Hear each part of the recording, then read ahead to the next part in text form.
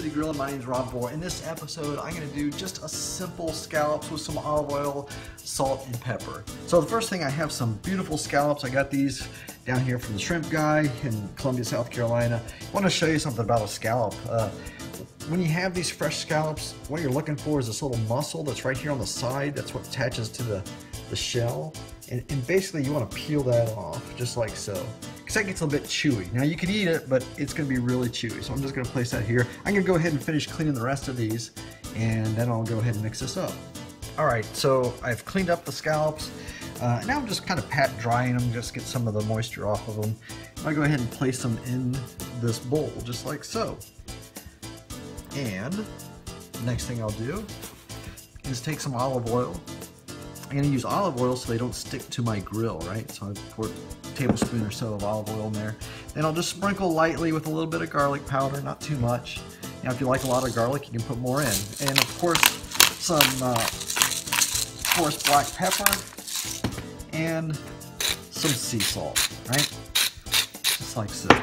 And I'll go ahead and mix these up with my fingers here and just let them rest just like so. I'll put them in the fridge and then when I get ready to cook, we'll put them on the grill. Right, we're out on the grill. I have a medium high heat right now on the grill. I have my scallops, again, they're in this olive oil. It's real simple, salt and pepper, nothing much to it. I'm gonna place them on the grill grates just like this. Cook them for a few minutes. I'm gonna watch them really close. I don't wanna burn them up or anything. Uh, nothing better than a perfect scallop. It's a little oil flaring up, that's perfectly fine.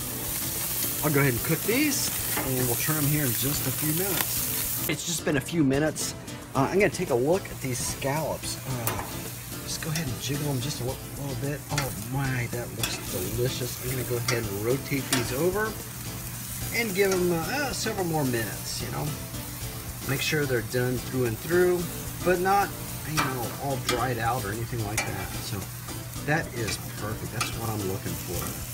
These are gonna taste sensational. All right, the scallops look beautiful. It's been several more minutes, you know, and I'm watching them, make sure their the opacity is gone. You know, they look beautiful. Actually, I'm gonna grab this little piece that fell off and go ahead and try this. You know, ooh, it's hot. Oh, mmm. You know, you could dip this in a garlic butter. Mmm, it would taste wonderful. And that's just perfect, just like that. It's a real simple scallop recipe. Subscribe to my YouTube channel and get the recipe on citygrilln.com.